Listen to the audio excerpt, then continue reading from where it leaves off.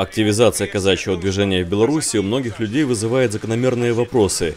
Присутствовало ли казачество в белорусской истории? Были ли казаки заезжими или в их ряды вливались местные жители? Исследования показывают, что на самом деле казачество на белорусских землях сформировало целый пласт культуры, пусть и не такой яркий, как в России или на украинских землях.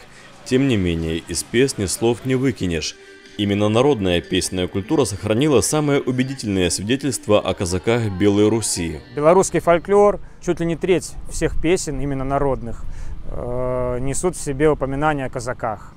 Это от э, песен, где казак выступает как жених, до войсковых песен, где казак собирается на войну. Местный фольклор, при том он встречается везде, на зап в Западной Беларуси, Южной, Восточной, в Центральной Беларуси, то есть по всей Беларуси э, очень крупная часть народного фольклора, именно песенного, э, несет в себе историческое свидетельство о казаках.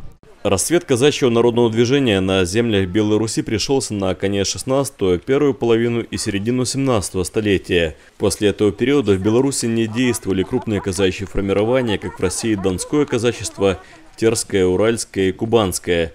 Но если говорить о последнем, то без белорусских корней кубанские казаки, как наследники Запорожской сечи, вряд ли бы были возможны. Исторически Запорожье стало вольницей для всех выходцев из Белой Руси, не видевших своего будущего на родной земле, где православная вера жестко преследовалась после Брестской унии. Есть много исторических свидетельств, которые позволяют историкам как Украины, так э, России и Белоруссии вот, э, сделать заключение о том, что Запорожская сечь была основана выходцами именно с земель современной Белоруссии.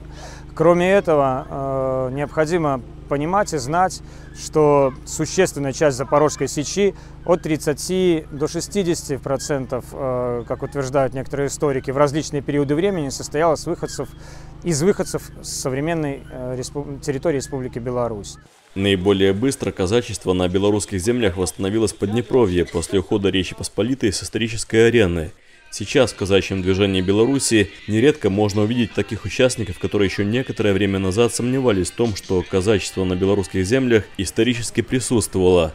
Но на примере собственного рода убедились, что это всего лишь стереотип. Начал интересоваться своей фамилией, своим родством. Оказалось, что мой прапрапрадед, он сам из казаков. Вот эта фамилия распространилась, где был казачий полк Чаусов, там есть целое поселение с этой фамилией. А потом вообще познакомился с казаками, которые все время казачьи традиции своей в семье поддерживают. Это фамилия Семашки, они Витебская казачьего э, значит, округа.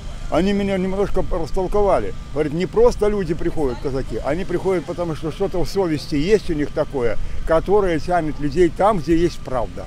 О том, что в белорусской православной церкви казакам относятся серьезно, но в то же время очень деликатно, говорит и организация казачьих секций в рамках рождественских чтений в Беларуси.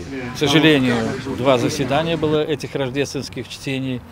Э, казаки разных объединений казачьих не очень идут по качеству на объединение. Но прошло очень хорошо. Во-первых, э, дата 100 лет начала гонений на русскую православную церковь и 100 лет борьбы с казачеством как с классом. Несмотря на противоречия между отдельными казачьими объединениями, Постепенно казачество занимает свое место в белорусском обществе, привлекает молодежь, значит, имеет и будущее. Э, мы видим возрождение на Беларуси этой казачьей традиции именно как народного движения.